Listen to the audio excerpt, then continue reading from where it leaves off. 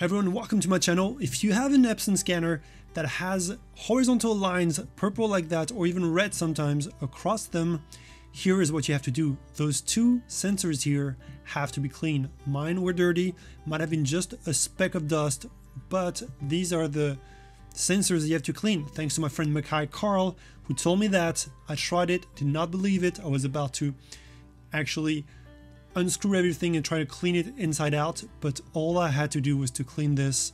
I scanned it again and the horizontal line was gone.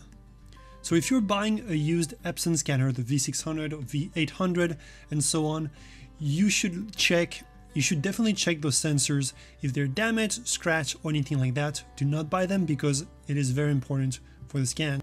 And make sure you do a test scan with the person you're buying it from. And that's it for this video. It was super simple, but it had to be made. And hopefully it helped you. And if it did, consider subscribing to my channel and also hitting the like button. And let me know in the comments below if you have any questions regarding your Epson scanner. This one was the V600, but it also applies to all the other Epson scanners.